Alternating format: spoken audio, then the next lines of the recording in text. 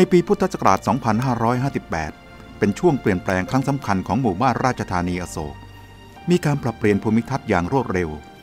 จุดที่ใหญ่สุดคือลำธารถอยหลังเข้า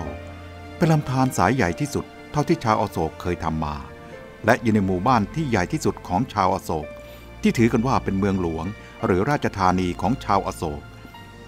เมื่อวันที่ 4 เมษายนเวลาประมาณ 16 นาฬิกา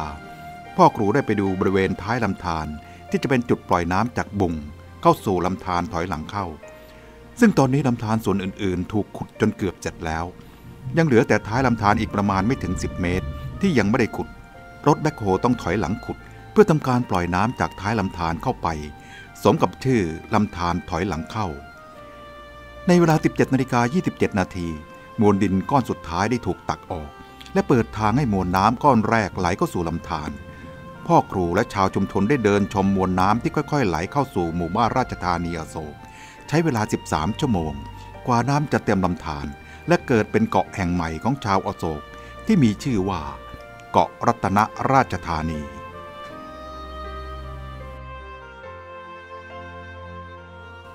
ลานใหญ่ตั้งอยู่ระหว่างบุงกับแม่น้ำมง เมื่อก่อนเป็นป่าละเมาะ ปัจจุบันถูกปรับระดับเพื่อเตรียมเป็นลานกราบ และเป็นพื้นที่ที่จะสร้างหลวงปู่วิชิตอวิชชาที่มีความสูง 44 เมตร ซึ่งจะเป็นศูนย์รวมศรัทธาของชาวอโศกทั่วทุกสารทิศทางทิศตะวันออกเฉียงใต้ของหมู่บ้านราชธานีอโศก มีเนื้อที่กว่า 70 ไร่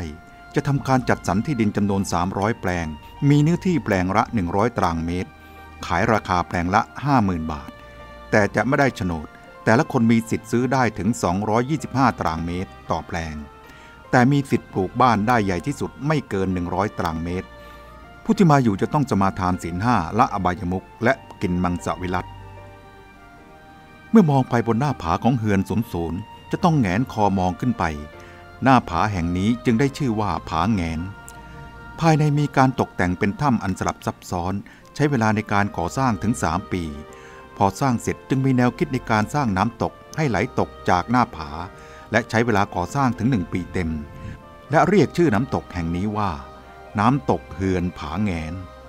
ที่บริเวณต้นทางของลำธารถอยหลังเข้า ซึ่งต้องใช้เครื่องสูบน้ำสูบน้ำจากบุงเข้าสู่ลำธารในบริเวณนี้ต่อไปจะทำเป็นแก่งมีน้ำไหลผ่านพลานหิน ที่เรียกว่าแก่งสะโพ ซึ่งต่อไปจะสร้างอาคารโพคอนโดหรือเรียกว่าภูคอนโด และมีน้ำตกไหลจากอาคารแห่งนี้ ลงสู่แก่งสะโพ สายน้ำจะอาบทั่วลานหิน และไหลลงสู่ลำธารถอยหลังเข้า ที่ภูคอนโดจะปลูกต้นโพเจ็ดต้นนำต้นพันธุ์มาจากสังเวชนียสถานที่ตรัสรู้ของพระพุทธเจ้า ณประเทศอินเดีย ที่ริมแม่น้ำโมน้อยแห่งนักที่จะมีพื้นที่หรือเนินดินแบบนี้ ชาวอโศกจึงช่วยกันทำกสิกรรมไร้สารพิษ และคัดหาเมล็ดพันธุ์คุณภาพดีจากทั่วทุกสารทิศมาทดลองปลูก และเก็บผลผลิตเป็นอาหารของชุมชน นอกจากนั้นยังปรับพื้นที่เพื่อจัดกิจกรรมต่างๆ เพื่อประชาชนทุกคนที่สนใจในวิถีชีวิตแบบอาริยะของชาวอโศกระหว่างโรงสีบุญคุณข้าวกับสระน้ำใหญ่ข้างโรงสี มีพื้นที่สูงหลายไร่ ที่เกิดจากการขุดดินจากสระน้ำใหญ่นี้ขึ้นมาทำเป็นเนินสูง จะทำเป็นสวนพืชผักผลไม้ขึ้นมา ซึ่งตอนนี้ได้ลงมือปลูกดอกจำปาลาวรอบๆสวนแห่งนี้ พ่อครูให้ชื่อสวนนี้ว่า สวนดอกจำปา ไม่ช้านี้เราก็จะมีทะเลน้ำจืดที่สวยงามอีกแห่งหนึ่ง เพราะมีพื้นน้ำสีฟ้าเหมือนทะเล ทรายที่นี่มีคุณภาพสูง เป็นทรายขาวละเอียด ชาวบ้านราชธานีอโศก และชาวบ้านกุดระงมก็จะได้ใช้ประโยชน์จากน้ำในอ่างแห่งนี้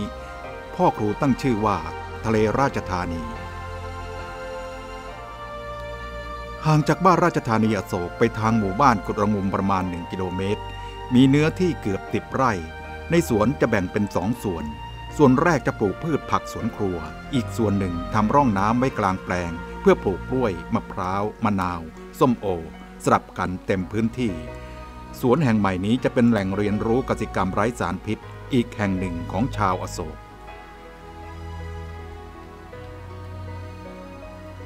การเปลี่ยนแปลงภูมิทัศน์ขนาดใหญ่ของบ้านราษฎรเหมือนกับการสร้างบ้านแปลงเมือง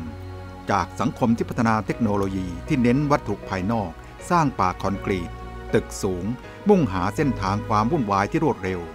ชาวอโศกพัฒนาไปหาดิน หาน้ำหาธรรมชาติ ซึ่งมีความกว้างใหญ่ หมู่บ้านของเราจะไม่มีคาร์บอนมอนอกไซด์จะเป็นชุมชนปลอดพิษ เราจะอยู่ในสถานที่ที่สะอาดปลอดภัย พ่อครูสมณะโพธิลักษณ์ ได้พยากรณ์ว่า ชาวอโศกที่อายุยืนถึง 100 ปี จะเป็นเรื่องธรรมดาสามัญทรัพย์สมบัติเหล่านี้เป็นของชาวอโศกทุกคน ไม่ต้องไปวิ่งหาสมบัติข้างนอก ถึงจะออกไปหาก็ไม่ได้อย่างนี้ ในอนาคตก็จะเห็นคนกลับเข้ามา ที่ตอนนี้เข้ามาไม่ได้เพราะสร้างภาระสร้างหนี้ไว้เยอะ ไปข้างนอกมีหนี้มีสินแต่ผู้จะเข้ามาต้องไม่มีหนี้พุทธศาสนาทำให้จิตใจเป็นอิสระทางนามธรรม ซึ่งยิ่งใหญ่กว่าทางวัตถุ ศาสนาพุทธมีหลักวิชาให้พ้นจากโลกธรรม และชาวอโศกได้ทำชุมชนสาธารณะโภคี เริ่มตั้งแต่ปฐมโศกมาถึงราชธานีอโศก จะเป็นสังคมตัวอย่างของโลก เราเป็นผู้บุกเบิกต้องมานะอดทน เราสร้างเพื่อลูกหลาน เป็นสิ่งที่จะช่วยมนุษยชาติให้เป็นเชื้อของศาสนาพุทธไปอีก 2,000 กว่าปี เราจะเป็นบรรพชนของสังคมชนิดนี้ที่เกิดขึ้นแล้วในโลก